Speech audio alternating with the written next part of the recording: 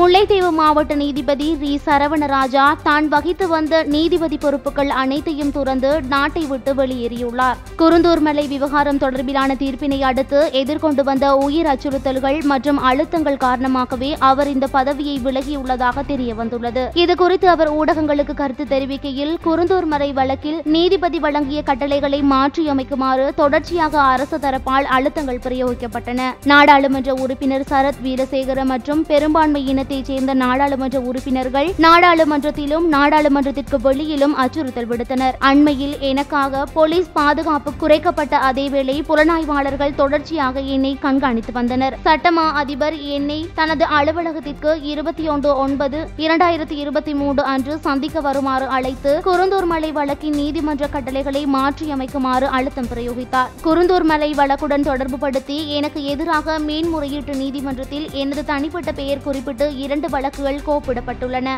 இவற்றின் அடிப்படையில் எனக்கு நேர்ந்த உயிர் அச்சுறுத்தல்கள் மற்றும் அழுத்தங்கள் காரணமாக நான் மிகவும் நேசித்த எனது நீதிபதி பதவிகள் அனைத்தையும் துறந்துள்ளேன். இது குறித்து பதவி விலகல் கடிதத்தினை கடந்த இருபத்தி மூன்று ஒன்பது இரண்டாயிரத்தி இருபத்தி மூன்று அன்று பதிவு தபால் ஊடாக நீதி சேவைகள் ஆணைக்குழுவின் செயலாளருக்கு அனுப்பி வைத்துள்ளேன் என்றும் அவர் தெரிவித்தார். இதேவேளை இவர் தன்னுடைய பதவி விலகலை அறிவித்த பின்னர் நாட்டை விட்டு வெளியேறியுள்ளதாக தெரிய வந்துள்ளது முல்லைத்தீவு மாவட்ட நீதிபதி பதவி விலகியுள்ளமை நாட்டில் எஞ்சியிருந்த கொஞ்ச நெஞ்ச சட்ட ஆட்சிக்கும் நேரடி சவால் என தமிழ் முற்போக்கு கூட்டணியின் தலைவரும் நாடாளுமன்ற உறுப்பினருமான மனோ கணேசன் தெரிவித்துள்ளார். முல்லைத்தீவு மாவட்ட நீதிபதி ரி சரவணராஜா தனது பதவியிலிருந்து விலகியிருந்ததுடன் தான் வகித்து வந்த பொறுப்புகள் அனைத்தையும் துறந்துவிட்டு நாட்டை விட்டு வெளியேறியுள்ளார். குருந்தூர் மலை விவகாரம் தொடர்பிலான தீர்ப்பை அடுத்து எதிர்கொண்டு வந்த உயிர் அச்சுறுத்தல் மற்றும் அழுத்தங்கள் காரணமாகவே அவர் இந்த பதவியை விலகியுள்ளார். குருந்தூர் மலை வழக்கில் நீதிபதி வழங்கிய கட்டளைகளை மாற்றியமைக்குமாறு அவருக்கு தொடர்ச்சியாக அரசு தரப்பால் அழுத்தங்கள் பிரயோகிக்கப்பட்டதாகவும் அதில் குறிப்பிடப்பட்டுள்ளது.